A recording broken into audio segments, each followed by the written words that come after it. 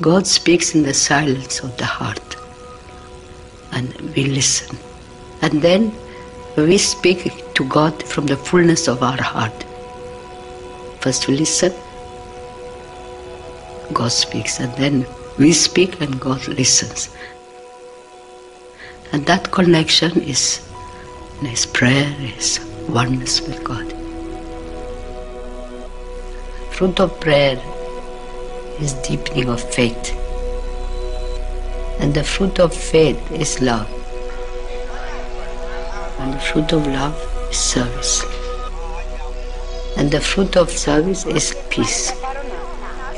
That's why we need to pray to have a clean heart. And if we have a clean heart, we can see God.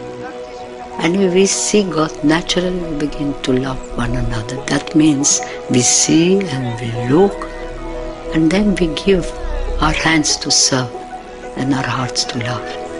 And that's the beginning of holiness.